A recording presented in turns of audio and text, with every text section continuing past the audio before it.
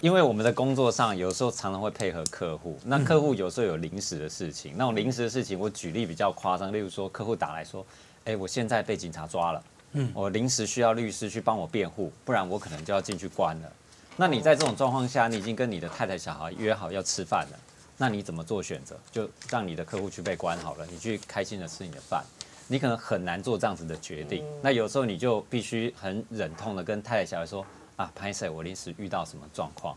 那当然，太太、小孩也是会知道说，哎，你真的因为工作，或许要体谅你，可是的确一定是很失落的状况，嗯嗯，哎，会非常失落状。其实刚听大家在讲这些，我实在是有好多话想要表达，对，但是你再不表达，就白领了车马费了。对对对对对，不是主要要表达是说，呃，我觉得对于太太或是对于妈妈来讲。其实你们可能也要知道老公到底在想什么，嗯，哎，是老公到底在想什么，然后知己知彼才能百战百胜。沟通。不是对，并不是说，哎，我知道老公想什么就要依照老公想的，而是互相沟通。因为老公也一样，真的不知道太太在想什么。我们想的可能很简单，像刚才讲的这种事情，我觉得大最最终的最上位就是说我到底是工作。摆第一还是家庭摆第一？如果我今天是决定把工作摆第一，那的确我一定永远牺牲家庭。那如果我把家庭摆第一，我就是一直牺牲工作。那跟太太之间的沟通上面，到底太太支不支持？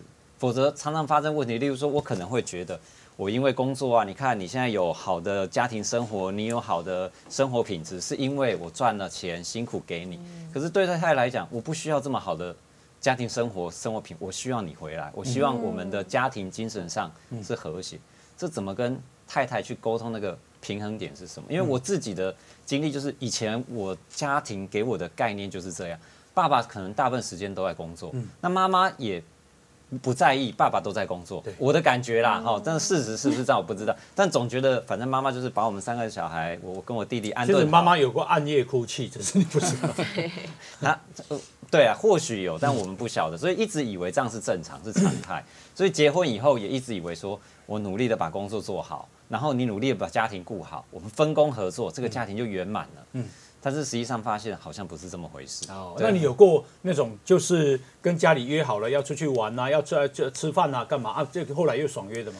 有，像其实最近也都常常发生啊，因为我的事情很多，然后呃前阵子例如说我要去。呃，跟太太约好说，哎，刚好小朋友我们运动会，然后礼拜一就会补休，哦，小朋友就可以礼拜一放假。那其实一般小朋友不可能礼拜一放，所以太太就会觉得哇，难得的机会，一年可能就这么一次，那是不是六日一我们可以安排个旅行？然后我也听着说啊，好，那就这样，那饭店也去订了，大家也准备好了。那偏偏好死不死，刚好礼拜天，就是听后来遇到了，呃，在我我去念 EMBA 遇到了一个。大型活动，它就在那个六日一的礼拜天要举行，然后学长姐就会告诉你，你一定要参加，你非得参加不可，否则你以后可能就不能再参与了的类似有的没的事情。那我就很难以抉择，我就回来跟太太讨论这件事情。那太太就会很很无奈，可是她也会说啊，没关系，你就去啦，你就去啦。你就去做这件你觉得很重要的事情，那最后我也真的去做了这件事，所以六日一就礼拜天那件事真的有重要到？我觉得那个重要是我到底把什么事情摆在最前面。我如果是把工作摆在最前面，或许参与这件事情 可以增加更多的人脉，可以呃将来有更多的这个客户，那或许它是重要的。嗯，可是他的确牺牲了可能一年就这么一次有这种机会跟家人一起旅行的。这个机会，嗯，就会变成是两个选择。你要说对错，它不是对错，是你把什么放在前面而已。